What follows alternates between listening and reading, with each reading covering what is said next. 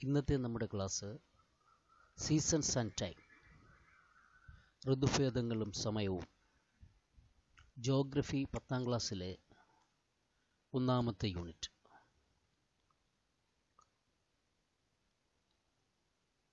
ചിത്രത്തിൽ സൂര്യന് ചുറ്റും പരിക്രമണം ചെയ്യുന്ന ഭൂമിയുടെ നാല് വ്യത്യസ്ത സ്ഥാനങ്ങളാണ് കാണിച്ചിട്ടുള്ളത്. നമുക്ക് ഇവിടുന്ന് തുടങ്ങുകയാണെങ്കിൽ മാർച്ച് ഇരുപത്തി ഒന്ന് ജൂൺ ഇരുപത്തി ഒന്ന് സെപ്റ്റംബർ ഇരുപത്തി മൂന്ന് ഡിസംബർ ഇരുപത്തിരണ്ട്. പരിക്രമണം അഥവാ റവല്യൂഷൻ എന്താണെന്ന് നമുക്കറിയാം. ഭൂമി ദീർഘവൃത്താകൃതിയിലുള്ള ഒരു പരിക്രമണ പദത്തിലൂടെ സൂര്യനെ വലം വയ്ക്കുന്നതാണ് പരിക്രമണം അഥവാ റവല്യൂഷൻ. ഇവിടെ നമുക്ക് കാണാൻ കഴിയുന്നത് ഒരു എലിപ്റ്റിക്കൽ ഓർബിറ്റാണ് ഈ എലിപ്റ്റിക്കൽ ഓർബിറ്റിലൂടെ ഭൂമി സൂര്യനെ ഇങ്ങനെ വലം വെക്കുകയാണ്. ഈ ഒരു പ്രാവശ്യം ചുറ്റിക്കറങ്ങി എത്തുന്നതിന് മുന്നൂറ്റി അറുപത്തഞ്ച് ദിവസവും ആറ് മണിക്കൂറുമാണ് എടുക്കുന്നത്. ഇതിൽ മുന്നൂറ്റി അറുപത്തഞ്ച് ദിവസത്തെ നമ്മൾ ഒരു വർഷമായി കണക്കാക്കുന്നു. ശേഷിക്കുന്ന ആറ് മണിക്കൂർ. തുടർച്ചയായി വരുന്ന നാലാമത്തെ വർഷത്തിൽ അത് കൂട്ടിച്ചേർത്ത് ഇരുപത് മുന്നൂറ്റി അറുപത്തി ആറ് ദിവസമുള്ള ലീപ്പ് ഇയർ അഥവാ അതിവർഷമായി കണക്കാക്കും. നമുക്കിവിടെ നോക്കാം. ഈ ചിത്രത്തിൽ അച്ചുതണ്ട് അച്ചുതണ്ട് എന്ന് പറയുന്നത് ഭൂമിയുടെ സാങ്കല്പികമായ ഒരു ആക്സിസാണ്. ഈ ആക്സ് ആക്സിസ് ചരിഞ്ഞിരിക്കുന്നതായി കാണാൻ കഴിയും. ആക്സിസ് ചരിഞ്ഞിരിക്കുകയാണ് ഇങ്ങനെ ചരിഞ്ഞ് കാണാൻ നേരെയല്ല. വെർട്ടിക്കലായിട്ടല്ല ഇത് കാണുന്നത്. ഈ ആക്സിസ് ചരിഞ്ഞിരിക്കുന്നതായി കാണാൻ കഴിയുന്നു അപ്പം നമുക്ക് ഇതിന്റെ ചരിവ് എങ്ങനെയാണെന്ന് നോക്കാം. ഇവിടെ ചിത്രത്തിലേക്ക് ഒന്ന് ശ്രദ്ധിക്കൂ. അച്ചുതണ്ടിന്റെ ചരിവ് എന്ന് പറയുന്നത് അല്ലെങ്കിൽ ഇൻക്ലിനേഷൻ ഓഫ് ആക്സിസ് അല്ലെങ്കിൽ ടിൽറ്റ് ഓഫ് ആക്സിസ് എന്ന് പറയുന്നത് ഇവിടെ ഈ ഓർബിറ്റുണ്ട്. ഓർബിറ്റൽ പ്ലെയിൻ എന്ന് പറയുന്ന ഈ ഭാഗം. ഈ ഓർബിറ്റൽ പ്ലെയിനിൽ നിന്ന് നമ്മൾ ഒരു പ്രൊട്രാക്ടർ ഇങ്ങനെ വെക്കുകയാണെങ്കിൽ പ്രൊട്രാക്ടർ ഇവിടെ ഇങ്ങനെ വെക്കുകയാണെങ്കിൽ ഇതിന്റെ ചരിവ് കണക്കാക്കുകയാണെങ്കിൽ അറുപത്തി ആറര ഡിഗ്രിയാണ്. ഇവിടം മുതൽ ഇവിടം വരെ നമ്മൾ അളക്കുകയാണെങ്കിൽ അറുപത്തി ആറ് ഡിഗ്രി. ചരിഞ്ഞിരിക്കുന്നത് കാണാൻ കഴിയും? അറുപത്തി ആറ് ഡിഗ്രിയിലാണ് ഇതിന്റെ ഈ ആക്സിസിന്റെ ചരിവ് കാണാൻ കഴിയുന്നത്. മറ്റൊന്ന് മറ്റൊരു രീതിയിൽ നോക്കുകയാണെങ്കിൽ നമുക്ക് ഈ കാണുന്ന ഈ പ്ലെയിൻ ഓഫ് ഓർബിറ്റിൽ നിന്നുകൊണ്ട് ഈ പരിക്രമണ തലത്തിൽ നിന്ന് മലയാളത്തിൽ പറഞ്ഞാൽ പരിക്രമണ തലം. ഈ പ്ലെയിൻ ഓഫ് ഓർബിറ്റ് അഥവാ പരിക്രമണ തലത്തിന്റെ ലംബം വെർട്ടിക്കൽ ഈ വെർട്ടിക്കൽ നിന്ന് നമ്മൾ അതിന്റെ ചരിവ് ഇങ്ങോട്ട് നോക്കുകയാണെങ്കിൽ ആക്സിസിലേക്കുള്ള ചരിവ് നോക്കുകയാണെങ്കിൽ ഇരുപത്തി മൂന്നര ഡിഗ്രിയാണ്. ഇപ്പോൾ രണ്ട് രീതിയിലാണ് നമ്മൾ ഒരു പിന്നെ ഭൂമിയുടെ ചരിവ് അച്ചുതണ്ടിന്റെ ചരിവിനെ നമ്മൾ വ്യാഖ്യാനിക്കുന്നത്. The axis inclined sixty six and half degree അല്ലെങ്കിൽ twenty three and half degree അപ്പോൾ first of all sixty six and half degree എങ്ങനെയാണ് നമ്മൾ കാണുന്നത്?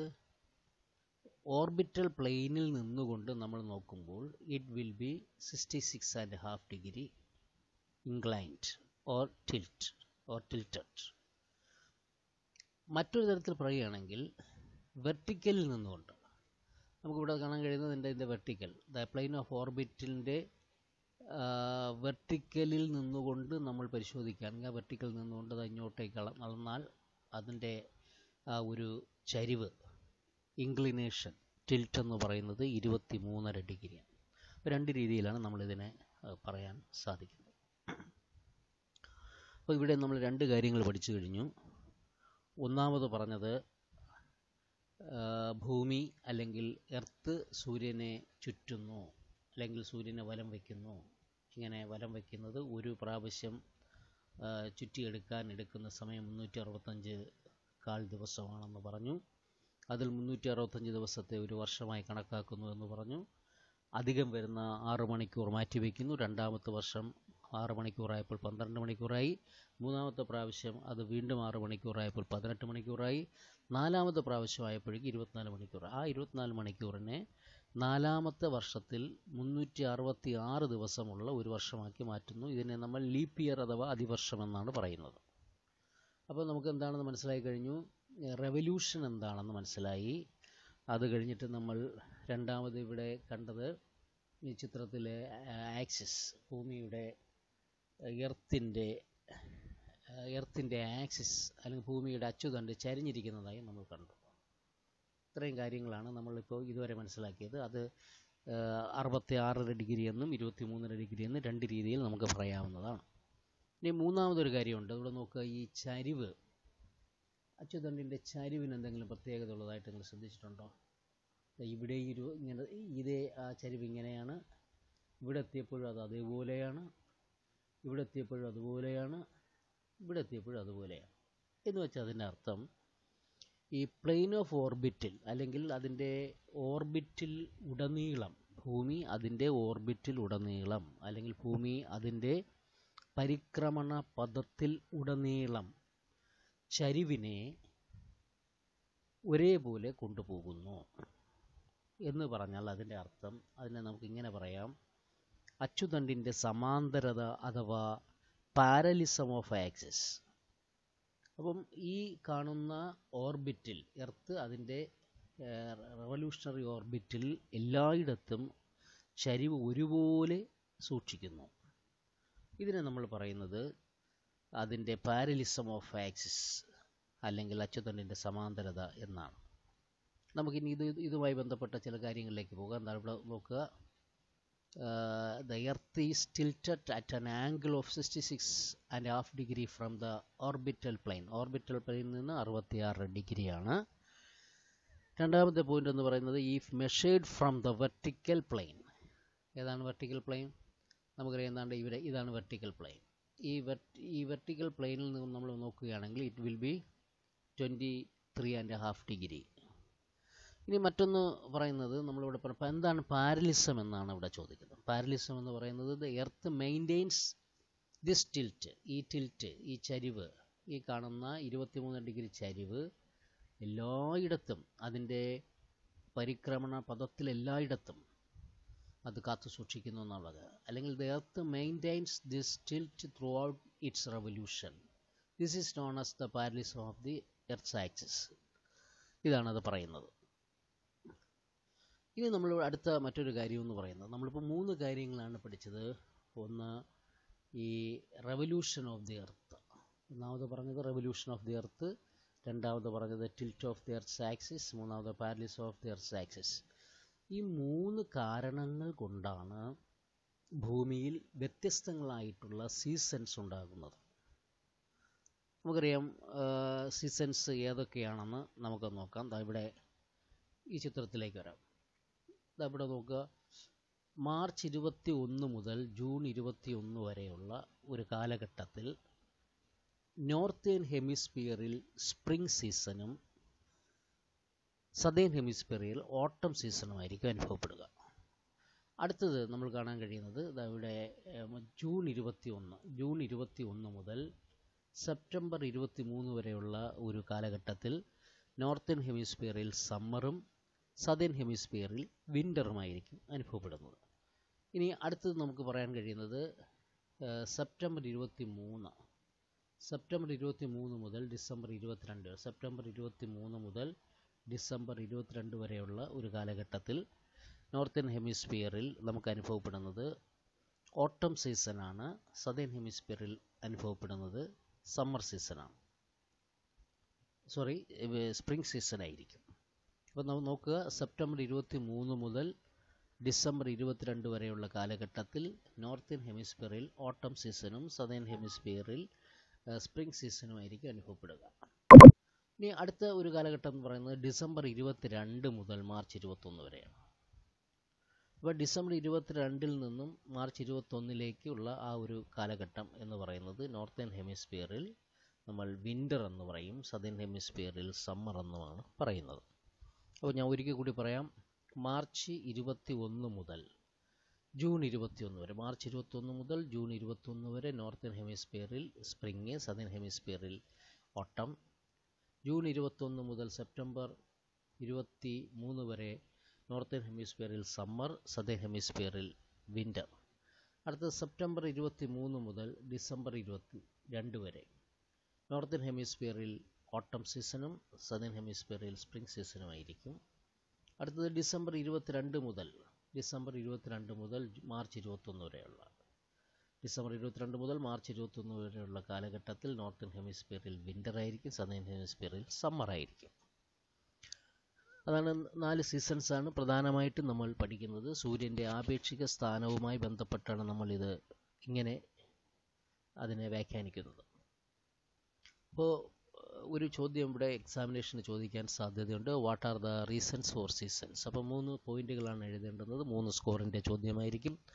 Revolution of the earth tilt of the earth axis അല്ലെങ്കിൽ parallelism of the earth axis എന്ന് പറഞ്ഞാൽ ഭൂമിയുടെ പരിക്രമണം അച്ചുതണ്ടിന്റെ ചരിവ് അച്ചുതണ്ടിന്റെ സമാന്തരത എന്നതാണ് മൂന്ന് പോയിന്റുകളായിട്ട് പറയുന്നത്. ഇനി നമ്മൾ നേരത്തെ പറഞ്ഞ ഒരു സംഗതി ഞാൻ ഇവിടെ മറ്റൊരു ചിത്രത്തിലൂടെയാണ് പറയുന്നത്. ഇവിടെ നമുക്ക് ചിത്രം നോക്കാൻ കഴിയുന്നുണ്ട്. മാർച്ച് ഇരുപത്തി ഒന്നിനും സെപ്റ്റംബർ ഇരുപത്തി മൂന്നിനും സൂര്യന്റെ ആപേക്ഷിക സ്ഥാനം ഇക്വേറ്റർ അഥവാ ഭൂമധ്യരേഖയിലാണ്. കണ്ടല്ലോ മാർച്ച് ഇരുപത്തൊന്ന് ഇവിടെ അതുപോലെ തന്നെ സെപ്റ്റംബർ ഇരുപത്തൊന്ന് ഇവിടെ. അതായത് ഈ രണ്ട് ദിവസങ്ങളിൽ ഇക്വേറ്റർ അഥവാ ഭൂമധ്യരേഖയിലായിരിക്കും സൂര്യൻ ലംബമായി പതിക്കുന്നത്. ഈ ദിവസങ്ങളെ നമ്മൾ വിളിക്കുന്ന പേര് സമരാത്ര ദിനങ്ങൾ അഥവാ വിഷുവങ്ങൾ അതുമല്ലെങ്കിൽ ഇക്നോക്സ് എന്ന് ഇംഗ്ലീഷിൽ പറയും. ഇക്നോക്സ് ഈക്വൽ നൈറ്റ് എന്നതാണ് അതിന്റെ അർത്ഥം. ഈക്വൽ നൈറ്റ് ഇക്നോക്സ് എന്ന് പറഞ്ഞാൽ അതിന്റെ അർത്ഥം ഈ രണ്ട് ദിവസങ്ങളിൽ ഭൂമിയിൽ എല്ലായിടത്തും പന്ത്രണ്ട് മണിക്കൂർ പകലും പന്ത്രണ്ട് മണിക്കൂർ രാത്രിയും തുല്യമായി അനുഭവപ്പെടുന്നു. തുല്യമായ രാത്രിയും പകലും അനുഭവപ്പെടുന്നു എന്നർത്ഥം. അടുത്തത് നോക്കാം. മാർച്ച് ഇരുപത്തി ഒന്ന് കഴിഞ്ഞ് ജൂൺ ഇരുപത്തൊന്നിലേക്ക്. അപ്പോൾ ഇവിടുന്ന് സൂര്യന്റെ ആപേക്ഷിക സ്ഥാനം സൂര്യന്റെ അപ്പാരൻ മൂവ്മെന്റ് എന്ന് പറയുന്നത് ഇക്വേറ്ററിൽ നിന്നും ട്രോപ്പിക് ഓഫ് ക്യാൻസറിലേക്ക്. അല്ലേ? ട്രോപ്പിക് ഓഫ് ക്യാൻസർ എന്ന് പറയുന്നത് ഇരുപത്തി മൂന്നര ഡിഗ്രി നോർത്ത് ലാറ്റിറ്റ്യൂഡാണ്. അപ്പോൾ ഇരുപത്തി മൂന്നര ഡിഗ്രി നോർത്ത് ലാറ്റിറ്റ്യൂഡ് തന്നെയാണ് നമ്മൾ ട്രോപ്പിക് ഓഫ് ക്യാൻസർ അഥവാ ഉത്തരായന രേഖ എന്ന് പറയുന്നത്. അപ്പോൾ ഇവിടെ നിന്ന് ഇക്വേറ്ററിൽ നിന്നും ഉത്തരായന രേഖയിലേക്ക് അല്ലെങ്കിൽ ട്രോപ്പിക് ഓഫ് ക്യാൻസറിലേക്ക് സൂര്യന്റെ അപ്പാരൻ മൂവ്മെന്റ് നടക്കുകയാണ്. ഈ കാലഘട്ടത്തിൽ നിന്ന് നമ്മൾ കഴിഞ്ഞ നേരത്തെ പറഞ്ഞത് അത് നോർത്തേൺ ഹെമിസ്ഫിയറിൽ സ്പ്രിംഗ് സീസൺ ആയിരിക്കും. അപ്പോൾ സദേൺ ഹെമിസ്ഫിയറിൽ ഓട്ടം സീസൺ ആയിരിക്കുമെന്ന് ഞാൻ പറഞ്ഞു. അപ്പോൾ ഇവിടെ ഇക്വേറ്ററിൽ നിന്നും ട്രോപ്പിക് ഓഫ് ക്യാൻസറിലേക്ക് പോവുകയാണ്. അപ്പം ജൂൺ ഇരുപത്തി ഒന്നാം തീയതി നമുക്ക് കാണാൻ കഴിയും. സൂര്യന്റെ ആപേക്ഷിക സ്ഥാനം അഥവാ relative position of sun is over tropic of Cancer അല്ലെങ്കിൽ ഉത്തരായന രേഖയ്ക്ക് നേർമുകളിൽ സൂര്യൻ എത്തുന്നത് ഈ ദിവസമാണ്. അപ്പോൾ ജൂൺ ഇരുപത്തൊന്നിന് സൂര്യൻ ദാ ഇവിടെ ഉത്തരായന രേഖയുടെ നേർമുകളിൽ അഥവാ ട്രോപ്പിക് ഓഫ് ക്യാൻസറിന്റെ നേർമുകളിൽ നിൽക്കുകയാണ്. ഈ ദിവസം ഇതിനപ്പുറത്തേക്ക് സൂര്യന്റെ സഞ്ചാരമില്ല. അപ്പോൾ അതിന്റെ മാക്സിമം അതിന്റെ മാക്സിമം ലിമിറ്റ് നോർത്തേൺ ലിമിറ്റ് എന്ന് പറയുന്നത് ട്രോപ്പിക് ഓഫ് ക്യാൻസർ ആണ്.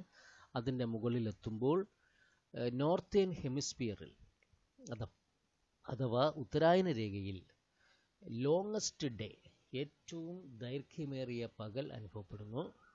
സദേ ഹെമിസ്ഫിയറിൽ ആയിരിക്കുമ്പോൾ ഏറ്റവും ഷോർട്ടസ്റ്റ് ആയിട്ടുള്ള ഡേ ആയിരിക്കും ഉണ്ടാകും നോർത്ത് ഹെമിസ്ഫിയറിൽ ലോങ്ങസ്റ്റ് ഡേയും സദേ ഹെമിസ്ഫിയറിൽ ഷോർട്ടസ്റ്റ് ഡേയും ആയിരിക്കും ഉണ്ടാകുന്നത്. അപ്പോൾ രാത്രി എങ്ങനെയായിരിക്കും എന്നറിയാമല്ലോ? ഇവിടെ ഏറ്റവും ലോങ്ങസ്റ്റ് ഡേ ആണെങ്കിൽ രാത്രി ഏറ്റവും ദൈർഘ്യം കുറഞ്ഞതായിരിക്കും.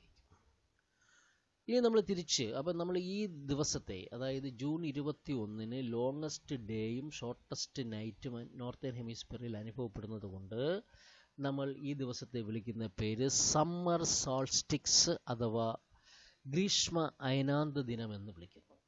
ഒന്നുകൂടി പറയാം. ജൂൺ ഇരുപത്തി ഒന്നിന് സൂര്യന്റെ റിലേറ്റീവ് പൊസിഷൻ ഈസ് ഹിയർ അതായത് ഉത്തരായന രേഖയിൽ അല്ലെങ്കിൽ ട്രോപ്പിക് ഓഫ് ക്യാൻസറിൽ അപ്പോൾ അന്ന് നോർത്തേൺ ഹെമിസ്ഫിയറിൽ ഏറ്റവും ദൈർഘ്യമേറിയ പകൽ ഉത്തരാർത്ഥഗോളത്തിൽ ഏറ്റവും ദൈർഘ്യമേറിയ പകൽ northern ഹെമിസ്ഫിയറിൽ high longest day and shortest night this day is called as that means summer solstice summer solstice അഥവാ ഗ്രീഷ്മ അയനാന്ത ദിനം എന്നാണ് പറയുന്നത്. ഇനി അടുത്ത് നമ്മൾ നേരത്തെ പറഞ്ഞു സെപ്റ്റംബർ ഇരുപത്തി മൂന്നിന് ഇവിടെ എത്തുന്നു എന്ന് പറഞ്ഞല്ലോ. ഇവിടെയാണ് ഇക്വേറ്ററിൽ. അന്നും നമുക്ക് പറയാൻ കഴിയും അന്ന് ഈക്വൽ ഡേ ആൻഡ് നൈറ്റ് അനുഭവപ്പെടുന്നത് കൊണ്ട് അത് ഇക്കനോക്സ് ആണ്. തുടർന്നുള്ള തുടർന്ന് അതായത് സെപ്റ്റംബർ ഇരുപത്തി മൂന്ന് കഴിഞ്ഞിട്ട് സൂര്യൻ സദേൺ ഹെമിസ്ഫിയറിലേക്കുള്ള അപ്പാരൻ മൂവ്മെന്റ് ആണ് നടത്തുന്നത്. അങ്ങനെ ഡിസംബർ ഇരുപത്തി രണ്ടാം തീയതിയോടുകൂടി ഇവിടെ എത്തുന്നു സൂര്യൻ? ഡിസംബർ ഇരുപത്തിരണ്ടിന് സൂര്യൻ താണ്ടെ ദക്ഷിണായന രേഖയുടെ നേർമുകളിൽ അഥവാ ട്രോപ്പിക് ഓഫ് കേപ്രിഗോണിന്റെ മുകളിൽ എത്തുന്നു. ട്രോപ്പിക് ഓഫ് കേപ്രിഗോണിന്റെ മുകളിൽ സൂര്യൻ എത്തുന്നു. അപ്പോൾ സൂര്യന്റെ relative position is over tropic of Capricorn അല്ലെങ്കിൽ ദക്ഷിണായന രേഖ. ദക്ഷിണായന രേഖയുടെ നേർമുകളിൽ സൂര്യൻ എത്തുമ്പോൾ എന്താ സംഭവിക്കുക? Longest night and shortest day ഇവിടെ will be experienced on northern hemisphere northern ഹെമിസ്ഫിയറിൽ ഏറ്റവും ദൈർഘ്യമേറിയ രാത്രിയും ദൈർഘ്യം വളരെ കുറഞ്ഞ പകലുമായിരിക്കും അനുഭവപ്പെടുക. അതുകൊണ്ട് നമ്മൾ അതിനെ നോർത്തേൺ ഹെമി നമ്മൾക്ക് നോർത്തേൺ ഹെമിസ്ഫിയറിൽ താമസിക്കുന്നത് കൊണ്ട് നമ്മൾ ഈ ഈ ദിവസത്തെ നമ്മൾ വിളിക്കുന്ന പേര് ശൈത്യ അയനാന്ത ദിനം അഥവാ വിന്റർ സോൾസ്റ്റിക്സ് എന്നാണ്. ഒന്നുകൂടി ഞാൻ പറയാം. December twenty second. സൂര്യന്റെ റിലേറ്റീവ് പൊസിഷൻ ട്രോപ്പിക് ഓഫ് കേപ്രിഗോണിന്റെ മുകളിലാണ്. ഈ അല്ലെങ്കിൽ ദക്ഷിണ രേഖയുടെ മുകളിലാണ്.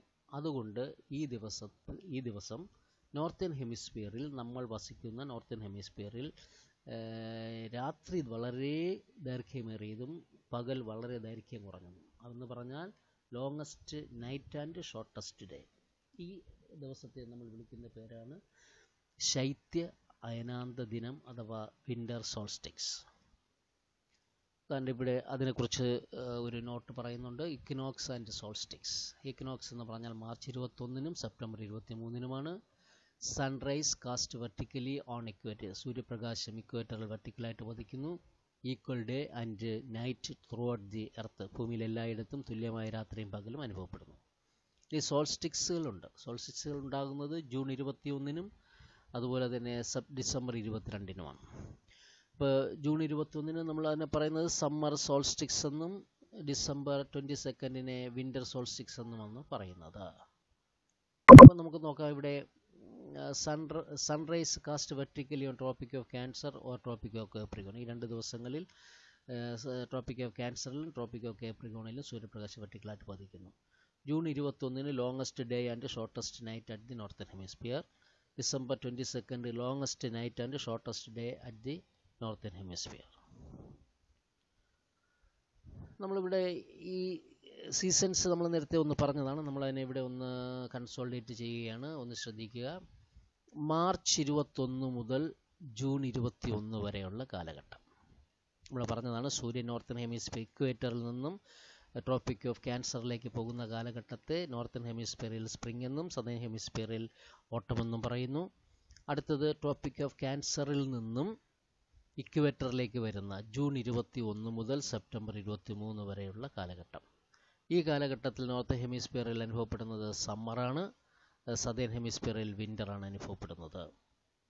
അടുത്ത കാലഘട്ടം എന്ന് പറയുന്നത് സെപ്റ്റംബർ ഇരുപത്തി മൂന്ന് മുതൽ ഡിസംബർ ഇരുപത്തിരണ്ട് വരെയാണ്. ഈ കാലഘട്ടത്തിൽ സൂര്യൻ ഇക്വേറ്ററിൽ നിന്നും ട്രോപ്പിക് ഓഫ് കേപ്രിഗോണിലേക്കാണ് സഞ്ചരിക്കുന്നത്. ഈ കാലഘട്ടത്തിൽ നോർത്ത് ഹെമിസ്ഫിയറിൽ ഓട്ടമെന്നും സദേൺ ഹെമിസ്ഫിയറിൽ അതിനെ സ്പ്രിംഗ് എന്നുമാണ് അറിയപ്പെടുന്നത്. അടുത്ത ഡിസംബർ ഇരുപത്തിരണ്ട് മുതൽ മാർച്ച് ഇരുപത്തൊന്ന് വരെയുള്ള കാലഘട്ടം. ഈ കാലഘട്ടത്തിൽ സൂര്യൻ ട്രോപ്പിക് ഓഫ് കേപ്രിഗോണിൽ നിന്നും വീണ്ടും ഇക്വേറ്ററിലേക്ക് സഞ്ചരിക്കുന്ന ഒരു കാലഘട്ടമാണ്. ഈ കാലഘട്ടത്തിൽ നോർത്ത് ഹെമിസ്ഫിയറിൽ വിന്റർ എന്നും സദേൺ ഹെമിസ്ഫിയറിൽ സമ്മർ എന്നുമാണ്